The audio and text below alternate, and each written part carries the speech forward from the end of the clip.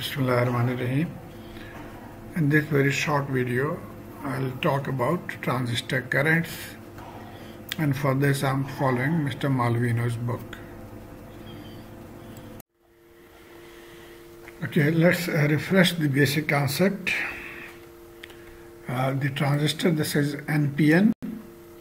So this N, then P and N you can see that the P region is very very thin. The others are thick. And without this battery there is no charge. There is no charge difference in the two. Uh, however the N region is doped more with, so there is a concentration of electron more here. And similarly the P region is doped with a positive charge concentration so slightly more concentration here and same for the uh, N again. Now when we connect a battery with a negative polarity to the emitter side so this pumps in electrons so there is electron concentration more now in the N region. But there is no flow of electron because of this barrier this gap now what happens if we connect another battery to the P region with the positive of the battery supplying positive charges to the P region? Then what will happen? That these electrons will get attracted by the positive charge. And some of them not all very few of them actually will get uh, combined with the positive charge but they move so fast you can say or since the gap is so much that when they accelerate from here for meeting the positive charges they'll actually cross this this gap small gap and they'll move into the uh, n side again. This is called the collector side. So emitted from here and they move to collector side. So this will become the final shape that the electrons now have moved to the collector side and then they'll be collected by the positive of the battery. So this cycle continues. And now uh, we can say that a very very small current very small current from the base is controlling a very large current between emitter and collector. And if we draw the diagram, this is for the n-type. N, P, N, some people also say not pointing in, that means it is pointing out. So if the symbol is pointing out, it is NPN. And as we said that the electrons flow from here, so electrons are flowing from uh, the emitter. So this is called emitter current, IE some of these electrons go to the base. So some uh, goes to the base and that is IB and most of it cross and become IC and this diagram is showing the electron current flow. Now there is another diagram. Since we um, used to follow earlier the conventional current so based on the conventional current uh, there is another diagram and the only difference is that the current directions will get reversed. So you can imagine that these are the positive charges flowing so opposite of the electron charges. So this is the conventional current diagram but to learn the basic concept you have to keep this diagram in mind. And to solve problems obviously we'll use this conventional current because in this region we follow the conventional currents. Okay.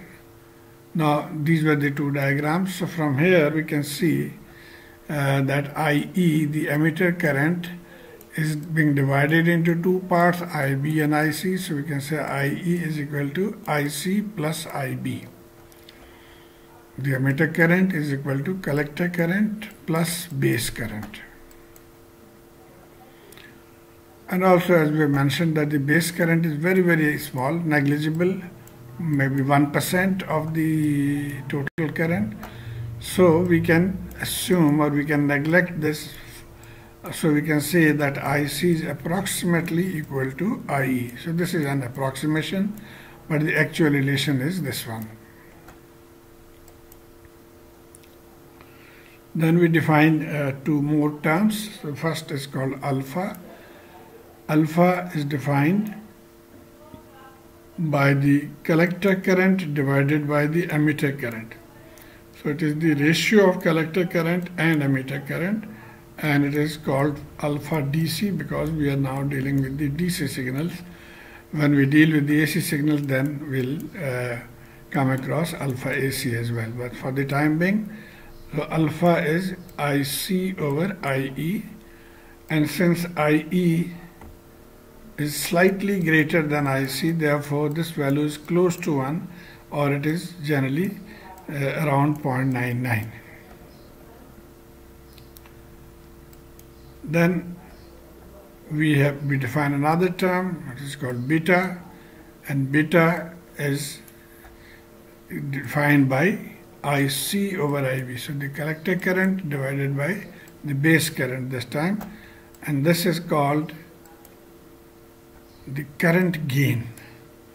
So let's say one one atom or one uh, positive charge of base is attracting or sending 10 then the gain will be 10 if it is one of this is attracting 200 then the gain will be 200 so the beta is also known as the current gain because a small base current controls a much larger collector current and its value is generally uh, for the small signal transistors it ranges from 100 to 300 okay now let's solve few uh, short examples or discuss few short examples solved in the book. The first one is a transistor has a collector current of 10 milliampere and a base current of 40 microampere what is the current gain of the transistor so the first thing is the collector current 10 milliampere. So this is the collector current 10 milliampere and the base current is 40 microampere. So base current this one or this one whichever you feel is 40 microamperes and now we know the relation between the two. We have to find the current gain. So the formula for current gain we know is beta. Beta DC is IC over IB. And just plugging in the values. So 10 milliampere over 40 microampere. Or 10 into 10 raised to the power 3 divided by 40 into 10 raised to the power minus 6 so this gives an answer of 250 so beta DC is 250 so that is the current gain the next example the transistor has a current gain of 175 if the base current is 0.1 milliampere, find the collector current. So this is also easy. The beta DC is given 175 and the base current is uh, 0.1 milliampere. So we know the relation between uh, the beta DC collector current and base current. We need to find the collector current IC. So we can say that IC is beta DC multiplied by IB and now plugging in the values 175.1 milliampere so we get answer 17.5 milliampere and the last question is that a transistor has a collector current of 2 milliampere and its current gain is 135 now we need to find the base current so again simple IC is given beta DC is given and we have to find IB. So we'll use this formula from here.